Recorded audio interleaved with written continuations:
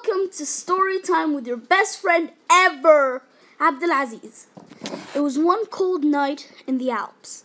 I was hanging around and then I found this creature and it sparked some sort of energy. I felt it radiating. And I I was freaked out. I didn't know what to do. So I decided I'll take it in. But then we came across this really, really cool but weird creature, also known as its adult form, Luxray.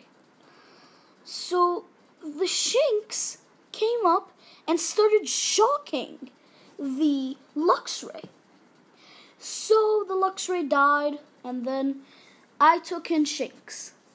And what one really weird day was he came into my room and found my pet Wooper in the um the fish tank.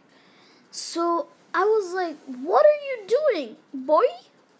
And then he was like, "Oh wait, he can't talk." He's like, "Shink, shink, shinks," and then I was like, uh, "Cool, mate."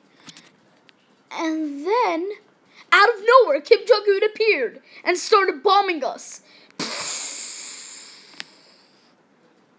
Thanks for listening to my show.